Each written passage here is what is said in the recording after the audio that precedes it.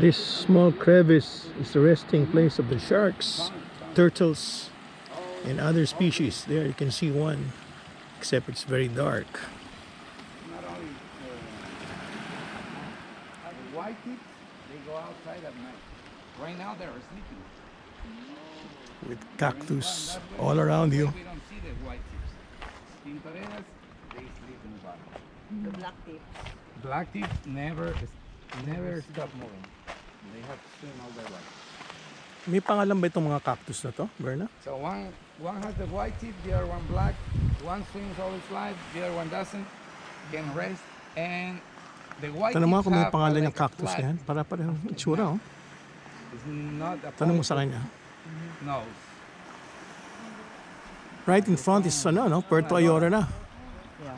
Is there a name for those cactus? Is there a name for those? Opuntia is the Latin name. Papuntia? Opuntia. Oh, and Papuntia. the common name is prickly pear cactus.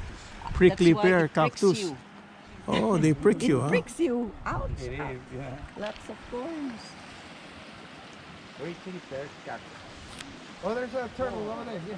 Straight uh, this way. You see? Yep. Uh, it, it went down. Turtles, birds, Turtle. All kinds of animals are here. Oh, Hold on a second. Grab some air. For breathing. No, but not all. Just specific animals. So now we're going snorkeling. We're going to swim with those turtles. We're not allowed to, to swim here inside.